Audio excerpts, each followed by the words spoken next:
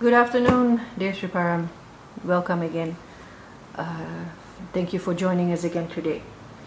Um, you have started the online school of Hindu Tantra, which is all about your teachings.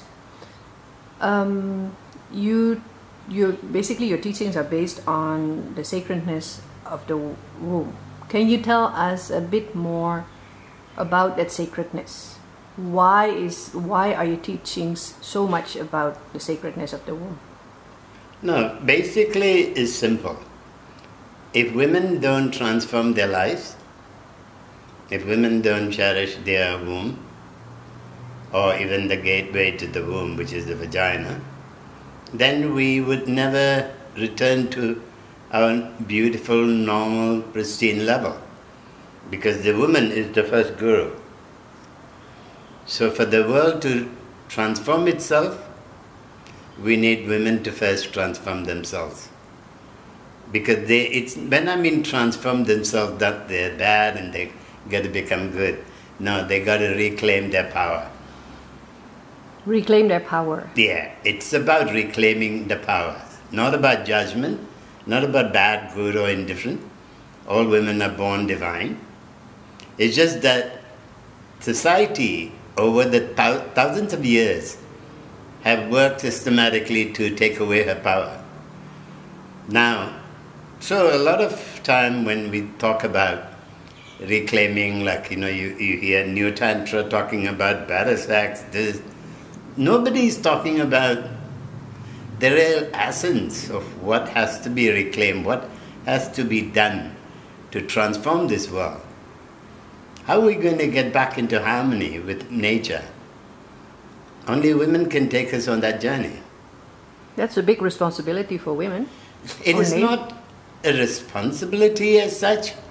If you think about it, if she reclaims her power, then the other parts of it is very automatic. It just happens. Because then she opens herself to the real wisdom of the universe uh, and of nature rather than now trying to compete like men in this world. Men have never been a competition. Men always depended on you as women, just that they, they don't know how to deal with you because you don't know how to deal with yourself. Your emotion, because you are working from an area which is alien to you, which is the brains. Because your nature is from the soul, from the source, from the womb. Your creative power is the womb. So when you move from the womb to your head, you lose that nurturing power, that gracefulness that comes within women, that everything is natural. I mean, your stamina improves, everything about you transforms. You don't have to even worry about being transformed. You don't have to worry about the burden because then it's not a burden. When you breastfeed a child, is it a burden or is it a natural thing? Well, it's a natural thing, but it can it, also be quite exhausting for a woman, for a woman's body. So it then depends again on the support of a man, and you know. To no, the question is this: the woman's body never gets exhausted in the in that real rhythm because her energy flow is very powerful, too powerful to make her be exhausted. It is modern women that feel exhausted, feel the pressure of being being a mother, being I mean like at one time women used to rejoice in being a mother. Mm-hmm. Now you have two two syndromes that normally takes place. One is postnatal and one is prenatal syndromes. Those things never existed in the ancient times because women were women are born powerful. They're not meant to. It's like having menstrual pain. Menstrual pain is not natural. It's an imbalance in the body. Yeah, but Sri Param, um, aren't you kind of imagining like an ideal society where where isn't that uh, appropriate in this time and age? You know, uh, at the moment in most societies, women and men need to work in, to sustain uh, their family life. You know, there's there's a lot of pressure on men and women to you know to basically survive. Oh, I agree. I agree totally that this is the scenario in today's world. But do we want to go on living this way? Do we want a better alternative? It's a question of looking at an alternative way of life that would change the scenario.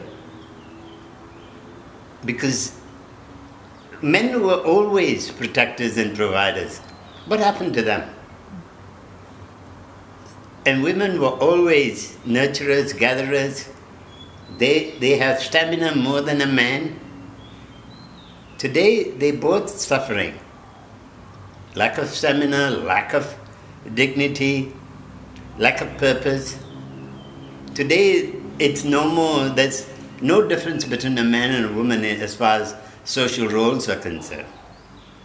So, what happened to the children that come? They neither have a father nor a mother. They have two biological beings pretending to be parents. That's what's happening, and that's what we don't need anymore. Okay, so how how how are we going to go about reclaiming our power as women? As women, you need to reclaim the power of your womb. Simple first step. How do you do that? Because you know, basically with mantras. One mantras would re-energize the womb. Okay, but then there is another question. you've got to be convinced that you are sacred. Mm-hmm. So for that, you have to learn more about Tantra than any other science. Tantra is virtually a perfect science. A lot of women out there, they go to yoga classes. Where does that originate from? They do pranayama. Where does that originate from? So you're taking small sectors of the teaching rather than the whole teaching. The whole teaching is basically a, a, way of life. It's not just one segment of your life. Yeah. You kind of fit in the Western. You know, do you suggest then that we go back to you know ancient way of living? So the women go in the kitchen, take care of the kids, and the men go out. You know, work on. I don't say that you you do that now. Okay. Mm. The question is this: If you have kids, you know kids need you. Okay. Until they are ready to fly, they need your care, complete attention. Okay, working mothers, what happened to the kids? I don't say, okay, now all working mothers should drop their jobs and go back to being mothers. But what I'm, because today's society cannot be sustained that way. But how do we change that even the small amount of time that we spend with our kids is meaningful? That's the, that's the program that I'm interested in. So whatever I share all the lessons I share in the Sacred Womb um, lessons is only, only to give you the background of all the different yogas that is available, how to practice it. So basically, the tools that we need in order to reclaim our power within the society that we have to live in, that we live in at the moment. No, the question is, is you've got to first transform yourself and then mm-hmm. transform the society. Yes, but we first have to reclaim our power, right? Yeah. So in your teaching, in your classes, you basically give tools for women, but I guess also for men because you know they need to also. Um, uh, you give us the tools in order to reclaim the power and to kind of change our mindset or change our way of behaving or mindset, and then um, and from there, when you start from there, you kind of uh, you know, it's like a ripple effect. If more people would do it, then society eventually will also change. Change, yeah. The question is that this, this program is for both men and women, mm. not just for women. Okay. Men have to learn the same science to be able to support women in that role that they have. Because in the ancient times, Tantra was created for men not for women. Women were born naturally divine. It's only when they started using their pants that now they now have to learn what was natural to them to be again reinvoked. Because if you look at a lot of times, my students, you know, in the beginning, they used to say why everything is he, not she and he. Because she didn't need to. Thousands of years ago, women did not need to do any sadhana. The, the, being the mother, being the light of the home was total sadhana. Because they lived all day in sadhana. Because their focus is not about themselves, always about the, the family. Whereas the man is focused outside the world, going hunting, going looking for money, looking for wealth. He's always focused outside of himself. A woman is focused inwards. So she never needed to do mantras, she never needed to do anything. But the minute women wore the pants and decided to, to become what they say, another funny way of reclaiming themselves is to diminish their strength. Women don't need to reclaim their strength in society, they need to reclaim their strength within themselves. Then the society will reclaim them. Okay. So they don't have to do anything. The war of the sexes got to end. Men have to be be who they are, and women have to be who they are. And each one has to recognize each other. This lack of recognition. Today, women want men to be like women, women men want like women to be like like men. At the same time, they don't like, there's conflict in it. They don't, they don't know what they're looking for. They've lost the focus, they've, they've lost the idea of what reality is all about. So the society is confused. Is confused basically. Yeah. Because we forgot that the women are the power. Women are known as Shakti, power. So feminism, in your opinion, what do you think of that? It's about not about becoming Shakti. Hmm. It's becoming Shiva or competing with Shiva. How can you compete with the that means you conflict within your left and right side of your body. This conflict is not an external conflict, it's an internal conflict where you actually fight with yourself. Remember, there's a male and female within you. You need to learn how to harmonize that energy within you.